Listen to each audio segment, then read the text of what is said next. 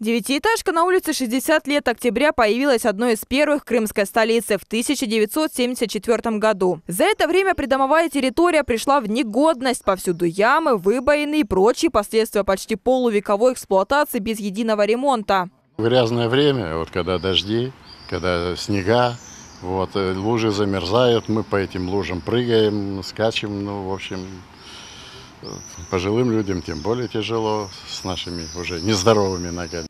За это время для некоторых жильцов история старого асфальта стала личной. Татьяна Самиляк рассказала, как несколько лет назад ее мама погибла, поскользнувшись на замерзшей луже. Поскользнувшись на вот участке гололеда, вот там вот напротив первого подъезда, она упала на спину, ударилась затылком о э, цемент. Забрали ее сразу же по скорой, трое суток в реанимации. Она из комы так и не вышла. Теперь добиться ремонта для Татьяны стало делом принципа. Больше всего жильцов проблемной многоэтажки поражает, что реконструкция придомовой территории в этом году запланирована возле пятого и седьмого подъездов. Однако асфальт возле одного из них и так в хорошем состоянии. И э, когда сейчас говорят о том, что он опять попадает якобы в э, программу ремонта, то, вы знаете, ну просто это э, не удивляет даже, это вызывает шок, вот просто шок. Неужели никто не э, удосужится прийти и реально посмотреть на состояние? Как признают депутаты, проблем на этой улице действительно предостаточно. Ремонт асфальта требуется от третьего подъезда до 13 -го. По словам депутата, ситуация на контроле. Мы взаимодействуем постоянно со старшими по дому, есть прямой контакт, есть понимание ситуации. Поэтому ну, вместе с течением времени мы, я думаю и надеюсь, мы решим все эти вопросы.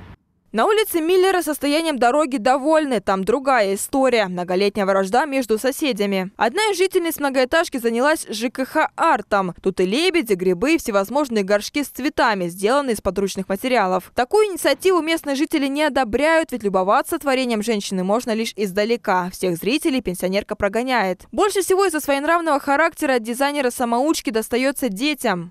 Я даже если все поломаю и уберу, вы здесь играть в футбол не будете. Будем. По каким, по каким причинам? Забери на кухню и По каким причинам? Ты что, больная?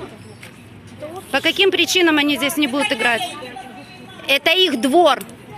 Такие конфликты продолжаются уже несколько лет. Противница самодельных украшений Наталья рассказывает, очень часто становится невольным свидетелем и слушателем, как детей просто выгоняют с этой площадки. Здесь э, редкий день проходит, чтобы не были слышны маты, оскорбления, э, даже ну, в сторону то ли родителей, то ли самих жильцов э, что зачем, что вы творите. Если вы делаете это на благо кого-то, ну, получается, что только для себя. Если вы делаете на благо детей, почему вы детей в грубой форме отсюда?